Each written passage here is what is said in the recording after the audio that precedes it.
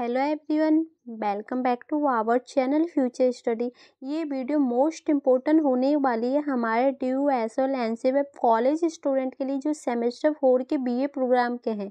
और जो आपकी हिस्ट्री सब्जेक्ट है, आपकी एस ई सी में जो आपने हिस्ट्री ले रखा है अभिलेख गृह और संग्रहालय। इसके इम्पोर्टेंट क्वेश्चन इस वीडियो में आपको देखने को मिलेंगे। और यहाँ पर हमने सभी यूनिट के आपके इम्पोर्टेंट क्वेश्चन लिए और ये most important question ninety percent जो चांस है गाइस कि यही क्वेश्चन आपके एग्ज़ाम में देखने को मिलेंगे। तो चलिए क्वेश्चन देखते हैं। तो गाइस देख सकते हैं, सबसे पहले जो आपकी यूनिट फ़र्स्ट है, इसके इम्पोर्टेंट क्वेश्चन देखते हैं, फिर इसके बाद सेकंड और थर्ड के भी देखेंगे तो देखिए क्वेश्चन फ़र्स्ट है आपका, अभिलेख से आप क्या समझते हैं? विभिन्न प्रकार के अभिलेख के बारे में बताइए। तो पहले तो आपको ये बताना होगा, आप इसे समझ के आ रहे हो, जो इसके प्रकार है, उसके बारे में बताना है। क्वेश्चन सेकंड आपका, संग्रहालय से आप क्या समझते हैं? विभिन्न प्रकार के संग्रह का उल्लेख कीजिए। तो मतलब वही है कि आप समझेंगे कि इसके प्रकार बताने हैं आपको। और जो आपका क्वेश्चन नंबर थर्ड है अभिलेखगृह सांग्रह और पुस्तकालों के बीच का अंतर का विशेषण करें। तो इन तीनों के बीच में जो अंतर है ना, वो आपको बताना है। क्वेश्चन फोर में जो आपका, भारत में अभिलेख गृह और सांग्रह के उद्भव और विकास की चर्चा करें कि जो इसकी उत्पत्ति और विकास कैसे हुआ, ये बताना है। क्वेश्चन फाइव में आपको बताना है, जो अभिलेख गृह और संग्रहालय के महत्व और कार्यों का वर्णन कीजिए।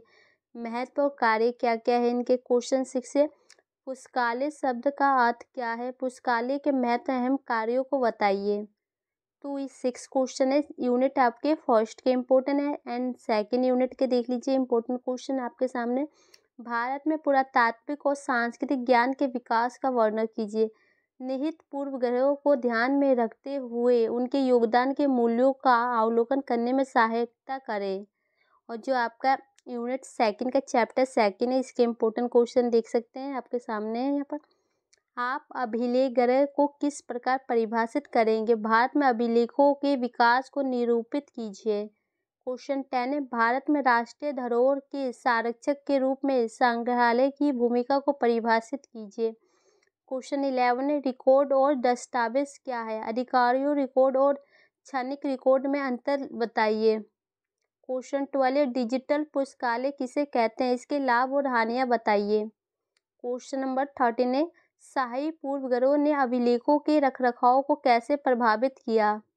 क्वेश्चन फोर्टीन है, औपनिवेशिक और उत्तर औपनिवेशिक काल के माध्यम से अभिलेख का विकास कैसे हुआ? तो जो इनके विकास हुए, उनके बारे में बताना है। क्वेश्चन फिफ्टीन है, औपनिवेशिक और आधुनिक काल में सांग्रह का विकास का उल्लेख कीजिए। तो इसका विकास कैसे हुआ? और आपका जो यूनिट थर्ड यहाँ से स्टार्ट होने जा रहा है, इसके इम्पोर्टेंट क्वेश्चन देखिए। अभिलेखों को एकत्र करने और संरक्षित करने की प्रक्रिया का उल्लेख कीजिए। राष्ट्रीय पांडुलिपि मिशन के तहत राष्ट्रीय स्वच्छतन के उद्देश्य और कार्य बताइए। क्वेश्चन अठारह जो डिजिटल अभिलेख से आप क्या समझते हैं? इसके द्वारा अतीत का अध्ययन करने में क्या सुविधाएँ होती है? क्वेश्चन नंबर जो आपका उन्नीस बनता है, भारत में किसी एक अभिलेख अथवा सांग्रह के वर्णन में आपको क्या सीखने को मिलता है? क्वेश्चन जो आपका ट्वेंटी है, भारत के इतिहास लेखन में अभिलेखों की भूमिका पर एक निबंध लिखिए। क्वेश्चन ट्वेंटी वन है, प्रालेखन से आप क्या समझते हैं? अभिलेख गारो अथवा संग्रह प्रालेखन की प्रक्रिया का वर्णन कीजिए।